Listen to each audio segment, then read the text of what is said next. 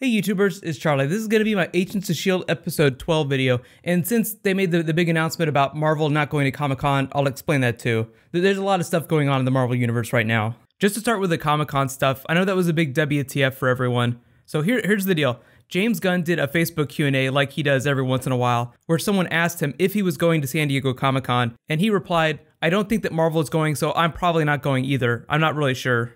So everyone was kind of like, wait, what? Did he just say Marvel isn't going to Comic Con? That's kind of a big deal. Cut forward to like another day or so, and he was like, no, I wasn't lying to the fans. I'm, I'm pretty sure Marvel's not going. That's why most of the actual news reporters in Hollywood right now are reporting that Marvel isn't going to Comic Con. They haven't made it official. Marvel isn't going to say anything about this definitively. Like they'll either show up or they won't, but they're probably not going to do a big Hall H panel. Just add a little bit of context. Comic Con was moved way up to the beginning of July this year. They have Ant Man coming out like a couple weeks after that. So by the time Comic Con hits, they'll have already spent most of their marketing budget on the movie. So there's there's really no point in them marketing the movie at Comic Con. They don't gain anything from it. Plus, they already did their big Phase 3 panel earlier this year where they announced all the movies that are coming out in the next four or five years. So they don't need to do that again. They've already done that. On top of that, because Marvel is Disney, Disney owns D23, they might be doing some presentations at D23 this year.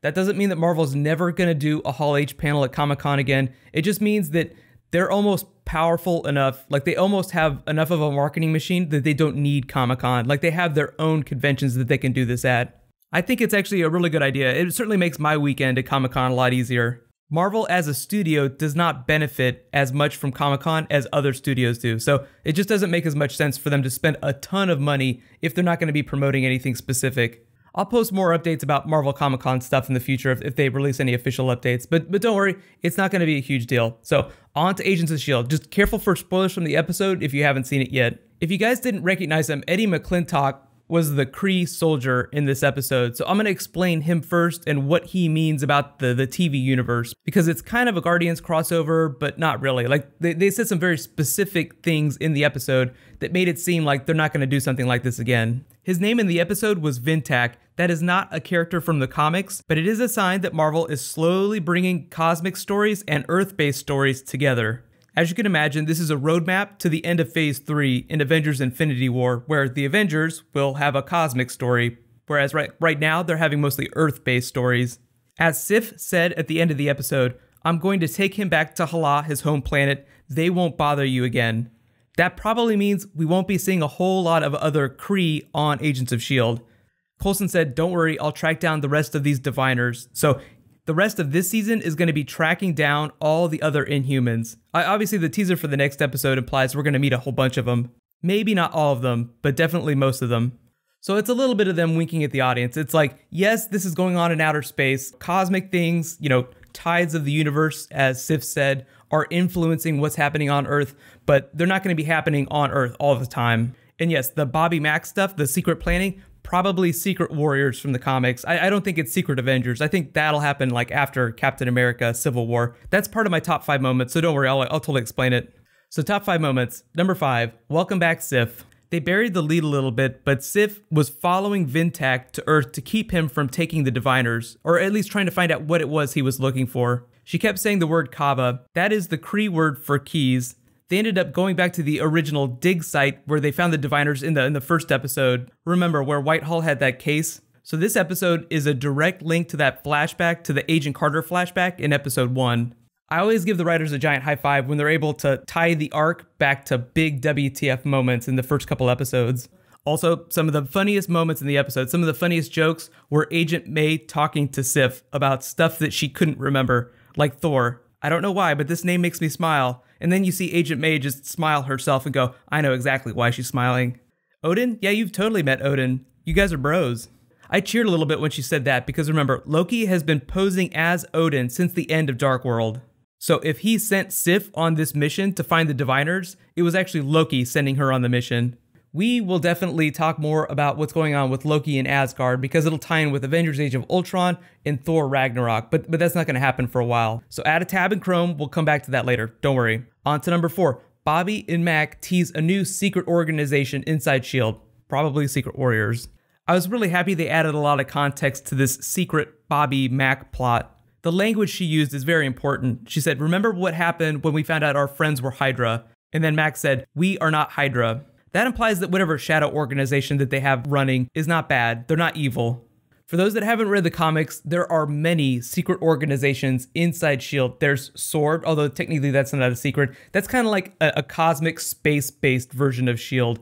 I don't think that that's what they're doing. There's also Secret Warriors, which is a, like a big comic book line, and then there's Secret Avengers. All of those things kind of tie in around like the Secret Invasion, Dark Reign era of the comic books. What I think is going on, what I think they're doing is Secret Warriors, just because the showrunners would not stop talking about Secret Warriors last year. Like they were huge fans of that storyline in the comics. And Daisy Johnson, the, the character from the comics that Skye is, that they turned her into, the Inhuman, she is part of the Secret Warriors team.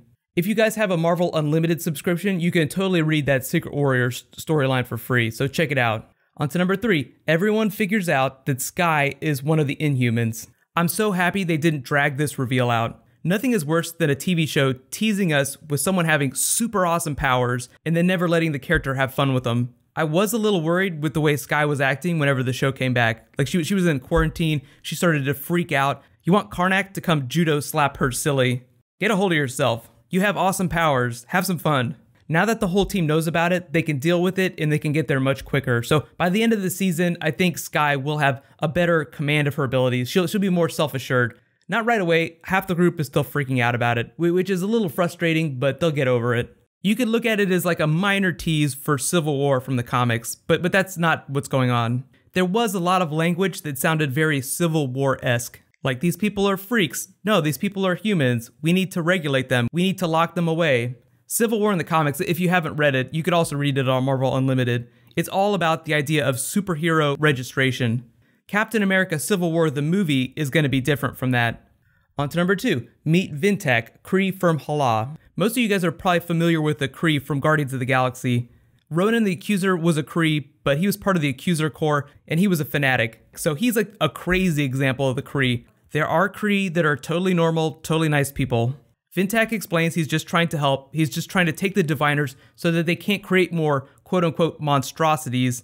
I'll explain that in a second because there, there's a lot of extra context to be added there. Eddie McClintock, awesome actor. I'm totally sad Warehouse 13 got canceled. He was a little ridiculous. I mean, I like him when he's playing it a little straighter. He's a great comedic actor to explain the monstrosities thing, so there is like a subform of inhumans that are more genetically deformed than others. They try to prevent that with selective breeding. Genetic tailoring is a really important idea for the inhumans. They practice thousands of years of selective breeding so they can create better inhumans. But every once in a while, you get like someone who's really, really deformed. You could look at that as a teaser for Raina because she is more physically deformed.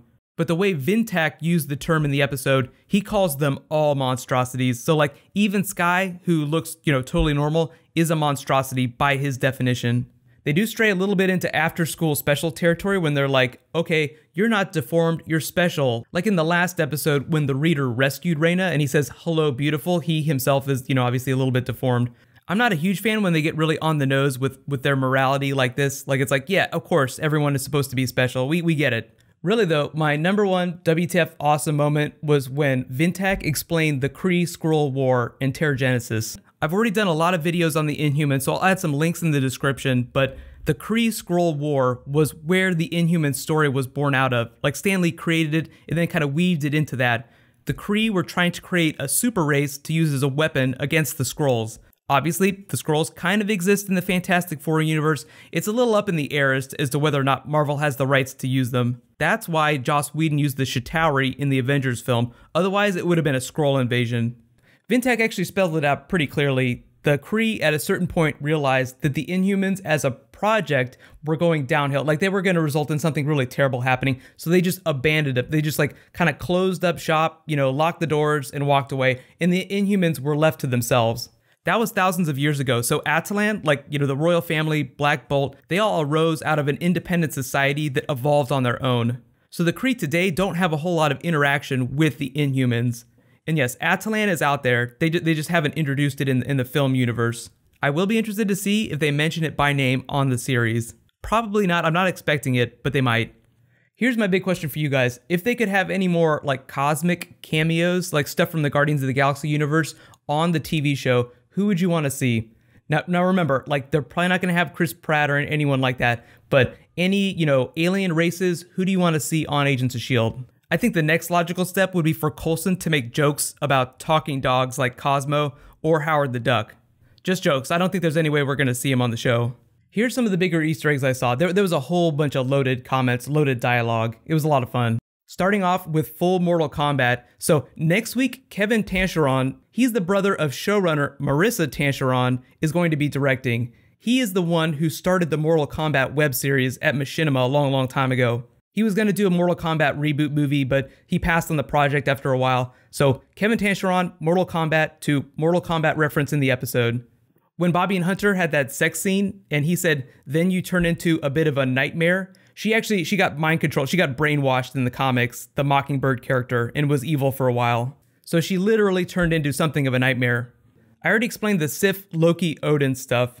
But when she says only seven species across the nine realms require nitrogen to breathe, she was talking about the Badoon, the Brood, the Dire the Phalanx, the Shi'ar, the Skrulls. Very clearly, Marvel does not have the film and TV rights for all of those races, but but most of them. So it's just a nice teaser for things that they could always introduce at some point. I know everyone really liked the hammer jokes. There were so many hammer jokes in this episode, especially the little tiny hammer that Eddie McClintock was carrying around. I don't think that he's part of the Accuser Corps, but Kree do have weapons and armor, the Accuser Corps, that's coded for them. Like he said, only he could operate it. Ronan's hammer from Guardians of the Galaxy is a slightly different one. It's, it's like a little bit more powerful. It's called a universal weapon. But most of the Accuser Corps have hammers like that. And huge congratulations to the winner of my Avengers Age of Ultron trailer giveaway. It's just a subscription to the Collector Corps. That's Marvel's Funko Pop subscription service. It's the only way to get the Hulkbuster Pop. Please message me on the back end of my channel so I can get your contact info. So like I said, I put more links in the description for my videos on the Kree, Guardians of the Galaxy stuff, and the Inhumans. While you guys wait for next week's episode, you can click here to catch up on Agents of S.H.I.E.L.D. if you guys are behind, and you can click here for the last Age of Ultron trailer. Starting to get a little bit cooler than the previous trailers. Lots more Ultron and the Vision. Thank you so much for watching. So let's all do the thing. I'll see you guys tonight.